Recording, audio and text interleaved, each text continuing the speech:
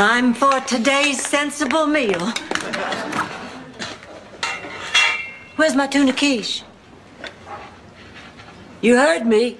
I said, where's my tuna quiche? I get five ounces of solid food a day and I want my tuna quiche. You mean that little pie? Little pie. Little pie? I wanted a snack. A snack! I thought it was a little fishy. Oh, you ate my sensible meal! You ate my sensible meal! Stop, Blanche! You're out of control. Oh my God! Oh, Rose, honey, I'm sorry. Oh, what did I just do? Yes.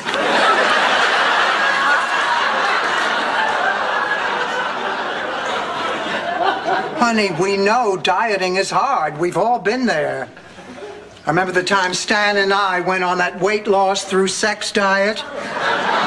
The idea being every time you felt hungry, you would substitute food with some sexual activity. Did it work? I gained 18 pounds.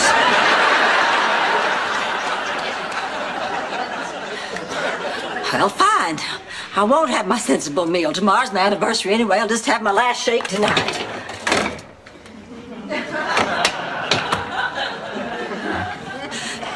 Where's my shake?